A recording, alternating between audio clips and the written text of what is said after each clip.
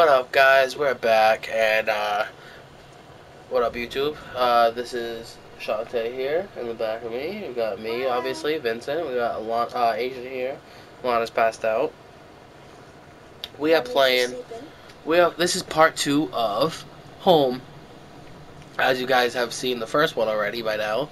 Um, this is the same day. We are playing this the same day as the first episode that you guys have seen. And uh, yeah, we want to beat this game in one go. So when you guys see this, it'll be a different day, obviously. But hope you guys enjoy this though. So let's get going with this because so far the game graphics have been great. Uh, I mean, not game graphics. The game graphics got kind of like sad because it's pixelated, but like it's still a great game. It keeps you on your toes, like I said in the first episode. It makes you want to keep playing. So let's keep playing. It was locked. This wasn't the right gate, and I'm still not feeling good. That's what I said. It gate was locked tight. This wasn't my house.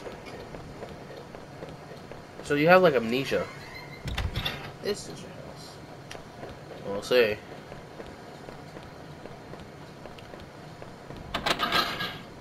Gate was locked tight. This was my house. The neighborhood's local post box. A letter was sticking out as if someone had it pushed it all the way in. I knew it wasn't right, but did I look at the letter? Yes. There was no return address, but the envelope was addressed to Norman. Carefully, I tore it open and looked at the letter inside. It read, "Stay away, she's mine." That was it. No signature, no other info. Rachel? What are you doing? I wonder if that was him that said that. Stay with it. Maybe I don't know. I had the wrong gate. This was one that was locked. No, he would be like, oh yeah, I wrote this to Norman. I had entered our backyard. The rain gave me a terrible sense of. oh man. Sorry guys, still sick. I had entered our backyard. The rain gave me a terrible sense of foreboding, and it chilled me through my clothes. Well, I was accepted, but also afraid. Rachel? Hell yeah, I'd be afraid too. Like all this stuff happening at once, everybody's dying. Rachel's coat in Norman's house. I feel like there's gonna be a boss fight at the end or something, and I'm only gonna have a knife, no gun. I held my breath as I approached by our back door. I was terrified to step inside. Oh my god.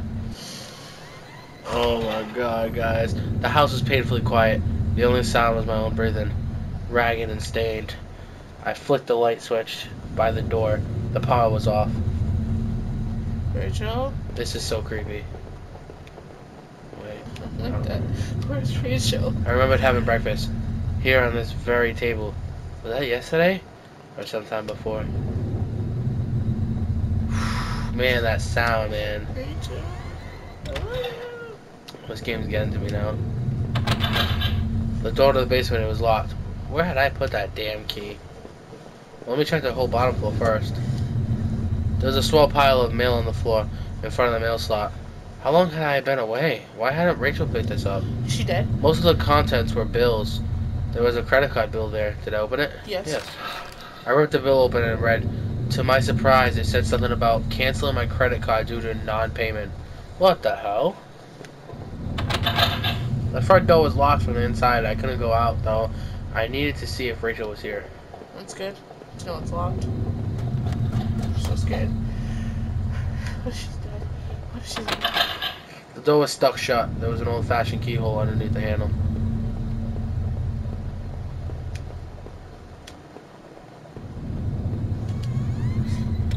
Check out this floor before I keep exploring. I found the last missing piece from my wallet, the old photo of Rachel, and I stared back. I stared back at me, reminding me of better times. It didn't make me feel terribly comfortable. Did I take it anyway? Yeah. Yes. I placed the photo in my wallet, feeling like I had got part of my life back. Still, the image made me uneasy. Why had I thrown it away? What if it was in you? Stolen identity trophy. Our television. I had purchased it before I knew I was going to lose my job. I felt pretty guilty about it afterward, but then, by then, it was too late. Okay. Uh, time to go upstairs one more time. Oh, what happened? Our hallway mirror had been smashed to pieces, scattered around the floor. No question about that though. Alright, so there's a lot of places to go. I, I need to check. I'll check the right and then the left. Our sink, which needed to be replaced, one of the taps always stuck, but I hadn't got around to fixing it yet. Okay, well, there's a lot of things broken in your house, buddy. We were lucky enough to get a house with one of those wonderful old claw-footed bathtubs. Oh yeah, those are nice.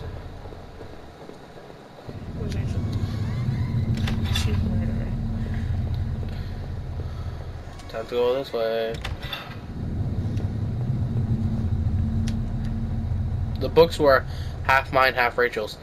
Hey, now that I looked more closely, it looked like the man in that house had some of the same books I as I did. Oh, that's weird. That's really weird. There was a suitcase on the bed. It was Rachel's. I remembered it from that trip we took on west. Did I open the suitcase? Yeah. I wasn't sure what to make of that suitcase contents. Inside were a few days worth of clothes, some toiletries, and the train ticket. Where was she planning to go? Oh, see, this is weird. This is getting weird now. Rachel? What's going on? Did I? Which way did I go? I didn't go this way yet. I went to the bathroom. I forgot to go right. My laptop had been left on. and only had a tiny bit of power left. On the screen was a website about the old water tower. There was a key in the top drawer of my desk. Did I take it? Yes. I pocketed the key. There's two doors. I need. There's two doors. I need a key. Oh, it was talking about the water tower, which, you know. Well, Uh-oh. one, one of your is there. Hmm. Rachel might be up to this, yeah.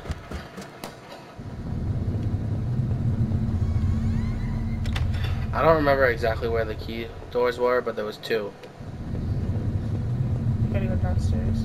No, I think there's one to the right. There was a door to the right that had one, which was it said it was a keyhole. It was shut. Yeah, this one. There's an old-fashioned keyhole underneath the handle. Oh, so that's not the keyhole. Okay, so yeah, let's go downstairs again. And there's another one that needs the key. Oh, pretend that the, it was the end and it was all prank. She's not here. Basement. Basement was the next one. Yeah, I unlocked the basement door. I want that. So why was the the other one was stuck shut with the keyhole underneath it? That's weird that that one weren't open. There were old Christmas decorations in the box. The garbage bags were stuffed with old paint cans and supplies. There was a dirty old key there. Did I take the key? Yes. Took the small key and tried to remember what it unlocked. There were old clothes, tools, and other things we obviously hadn't thrown out yet. I put this divided wall last summer so we could create a separate room for the basement. I hadn't finished it yet, so the door was stuck, and the drywall was poorly installed. I might have been able to break through if I found something heavy enough. Okay, and that something heavy enough will probably be in that room that's stuck. Now that I got another key.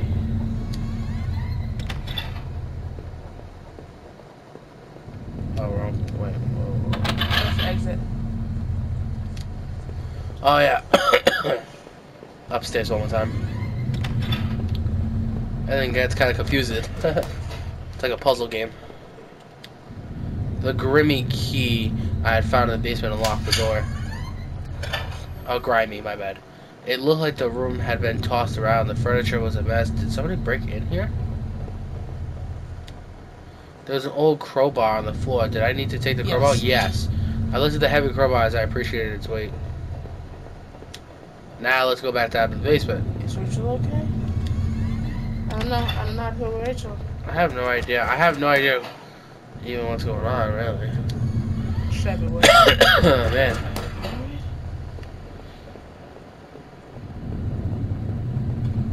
I don't know what's the Did I break through the wall with the crowbar? Yes. With the heave, I swung the crowbar at the wall, smashed a hole large enough to step through. I don't like that. As I stepped through the broken wall, my breath caught in my throat. This was it. Was Rachel down there? Was she okay? What's that sound? Rachel, don't look. Hey, uh, whatever you say, girl. I mean, looking up. Yeah.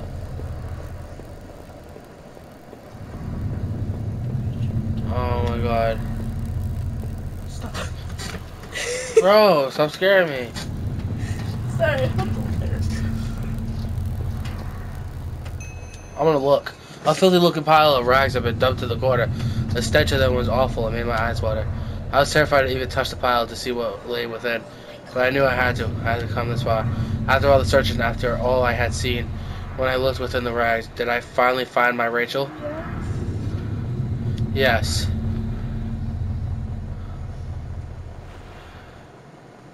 I should have clicked no.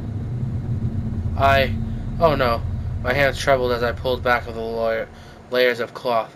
There at the center, under all the dirt and mess, was my beloved, my Rachel. Her arms were bruised all over and slashed repeatedly. Her clothes were ripped and torn, and even through all that sickening blood, it was obvious that she had been stabbed to death. The knife I had carried all this way suddenly seemed like a poison. What had happened? Rachel, who did this to you? I thought about all I had seen and wondered if any of it could help me figure out who had done this. And when I couldn't stay there any longer, I stepped away on shaky legs and then made my way back upstairs. Reluctantly exhausted from my journey, I could no longer resist the urge to close my eyes.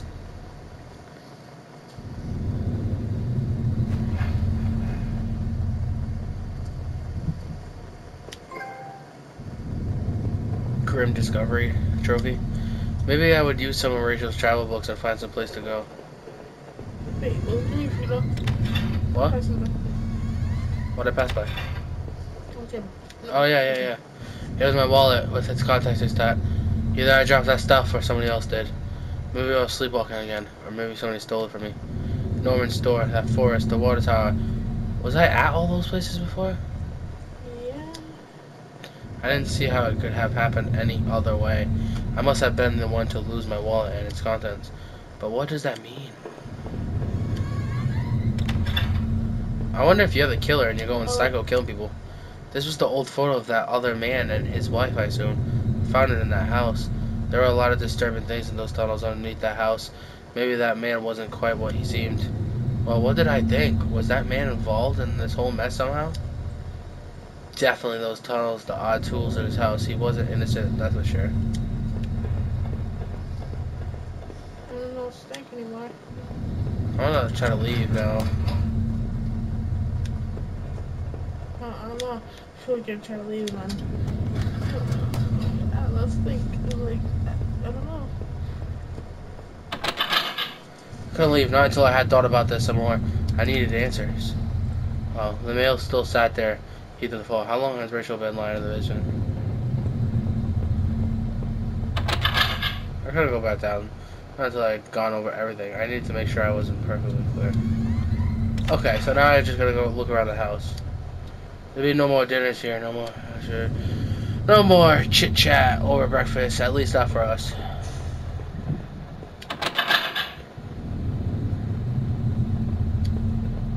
Alright. Did you lock the back door? No, probably not.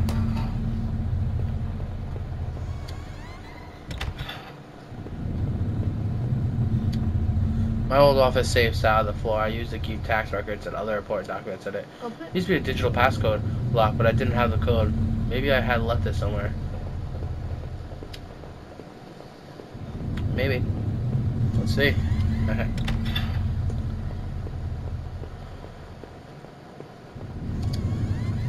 oh man, it's hot in here. It was a letter I had taken from the post box. Who had um, who had it out for Norman? Who sent him that letter? It must have been someone from the neighborhood, or at least somebody wanted to look in that way. I wasn't sure what to think. Did Norman? Did he murder Rachel? No. No way. Norman had ended up dead himself. Whoever Yeah. sent that threatening letters must have got to him. But who the hell was that? From now on, I'd have no one to get angry with for stupid things like buying this TV.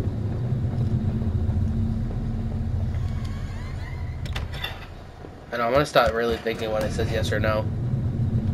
Like, really thinking.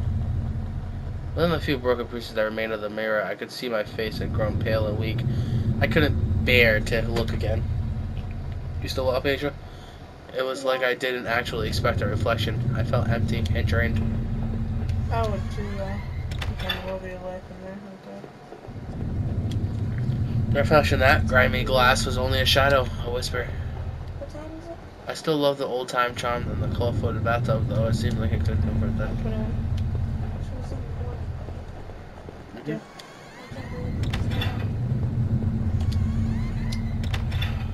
Oh man. It was a key card I found in the factory, the one that allowed me to slip through that door. Seemed to me that it was probably Norman's. But if that was true, what was he doing back at the plant? Did I think Norman was going back to the factory? He's dead. No. Someone was going through those lockers, sure, but I didn't think it was Norman. Laptop was dead, but I found some notes and loose paper in the drawer where I'd found the key. There was a yellow sticky note with an eight digit code in it. Yes. Did I take it? Yes. The code looked like it might be for the safe. But what kind of phrase was that?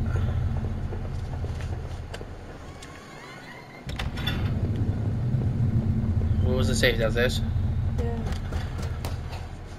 Oh my god. All the way down, I think. It seemed like I had seen all there was. Maybe I thought I was ready to go back in the basement. Not yet. I want that safe first. It's upstairs. Not all the way down. I'll go in the basement after that safe. They're trying to trick us.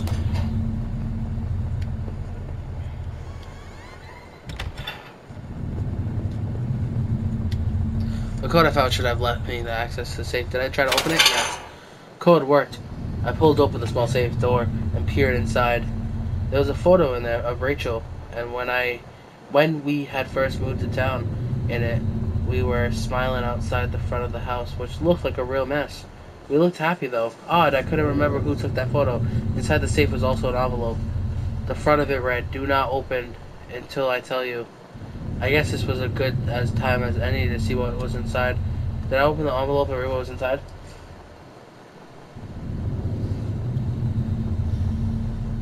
Yeah. What was the reason? I tore open the envelope and removed the yellow lined paper inside on it was a letter, right in hand that looked familiar. The letter read, I know this whole event has probably been pretty, pretty, pretty difficult. You can't imagine how hard it's been for me, too. Well, maybe you can. That isn't meant to be an excuse, but, well, I hope you could better understand why I've done what I've done. Moving to this town seemed like such a dream and a quiet place to get established, to live out our lives to be together.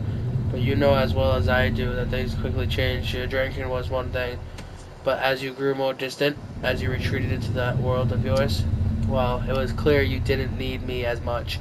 In fact, maybe you never needed me at all. But it took all this to make you realize. Rachel? In the end, though, you may never forgive me for this. You may never forgive yourself, but this is probably for the best. You'll be the healthier for this. I'm just sorry it had to be this way, Rachel. What'd I do? Did she kill herself? I felt like she was gonna leave because there was travel posters and stuff, right? So she was probably gonna leave him. Alright, they said if I was guilty, I could take this to a warm, safe place. Had something about it. Did I pick up the knife?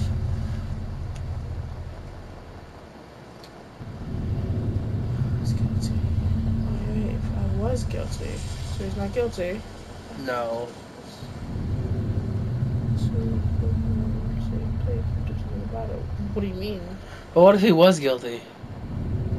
Like then you you you'll never get caught if you take it. But you put back the gun, which has your fingerprints on it. Yeah. No, just keep it. Maybe you didn't do it. No. No, no, there were other means of dealing with this.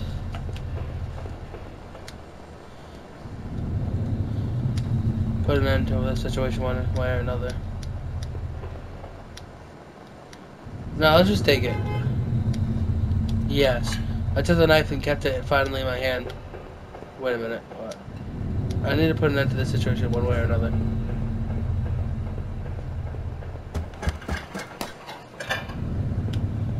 I'm so scared that someone's gonna be right there just watching.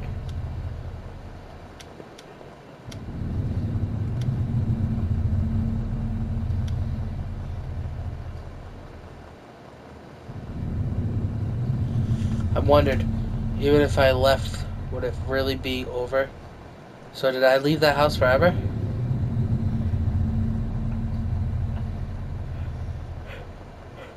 You should have left the knife. yes. Living in this town hadn't been easy. The plant had helped in some way to stay grounded. It kept me in line, gave me something to do, and helped me get away from my past. When the factory closed, everything changed. I guess that was when I had started sleepwalking. Disappeared for hours at a time. I had MRIs and piles of doctor's reports, but nothing seemed to help, not even drinking. But I swear I had tried to give it up. I know it. The sleepwalking never really went away, though. But I know Rachel had tried. I know she had tried to be there for me, even when everything was falling apart. This night had unearthed terrible truths, but I knew it was a final act of a long-standing horror I'd been living. Waking up in that house tonight was the final cruelty. I wish I had remained unconscious in that room forever. It was obvious to me that the man I had found in that house had something to do with it all. Could he have killed Rachel? It started to seem that there were too many things I had seen to think otherwise. And what was hidden within those sewers I had found? The tunnel to the man's house obviously led there. But was there something I missed? I had found the contents of my wallet scattered throughout town. Why the hell had I been out there? Had my sleepwalking gone to some new extreme? The thought that I couldn't account for my unwhereabouts but knew I had been to that forest, and even Norman's place, well, it was terrified. I didn't know what that meant, but at least I had recovered my things. Hopefully, I th thought that would cover my tracks so I wouldn't be blamed for all this. The tangled mess of that horrible forest was an experience I'd never want to repeat. One thing I could be sure of, despite my confusion, I knew Norman had been the one who was going back to our old factory. He couldn't have been responsible for that dead guard then. I could take some solace in that. After the factory, I thought I might find some solace if I could just get to Norman's store. but all I had found were more horrors and more questions. Now that I really consider it, that's when I should have seen it coming. Damn, Norman, how did you get mixed up in all this? I know you weren't a perfect man, none of us are, but you didn't deserve this. Maybe whoever had done you in was responsible for the other murders that happened in the town. At the very least, I was convinced you and Rachel were killed by the same person. I sincerely hoped you would find some peace, my friend. I knew I never would. When I had marched through the rain towards home, I desperately clung to the hope that this would end. And I guess in a way it did. But how could I have known how hopeless it all was? I had started to feel as disoriented as when I sleepwalked. To think of it now, I guess I should have known from the terrible silence that greeted me when I was first stepped into our house and stood there in the kitchen. There was no sound of television, radio, even the air was still. But but seeing Rachel there lying ruined and discarded in the basement, that was a horror I could never have imagined. I didn't know if I'd ever find the answers I craved, but I knew that somehow that other man I had found was responsible for this. If not directly, he must have had a hand in Rachel's death. So what was I doing in that damn house of his? Had I found out? Had I killed him? My damn condition made it difficult to know. Memories and time frames were always a mess, and I could never be sure. Knowing that man was dead, though, was cold comfort. My wife was gone, and no matter what happened to me now, I was lost forever. As I swung open the door and stepped into the air, I caught the scent and wet grass and fog. Rachel, my beautiful wife, just the thought of her again, could, uh, cold and inert, shook me from head to toes. What would I do now? Who could I turn to? It would only be a matter of time before the police got involved, before the neighbors knew. The front lawn was soft and given beneath my feet, and I couldn't shake the urge that I shouldn't stand there, rather that I run.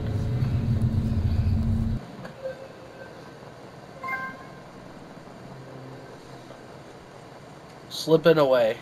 Hmm. Damn. Okay, well. Damn. Alright, well, it was a good game. it was definitely a good game. Kind of short, uh, like they said, about an hour and a half. Um, I liked it. It was fun. It was different. The movements and everything. It was a. It, it kept you on your toes. It kept you wanting to know. Um, man, that's crazy. What do you think, baby? I want to know who did the murders. Yeah, I mean, it could be that guy, which he was dead. It could have even been you. And no matter what, you had to run because the cops could think it's you.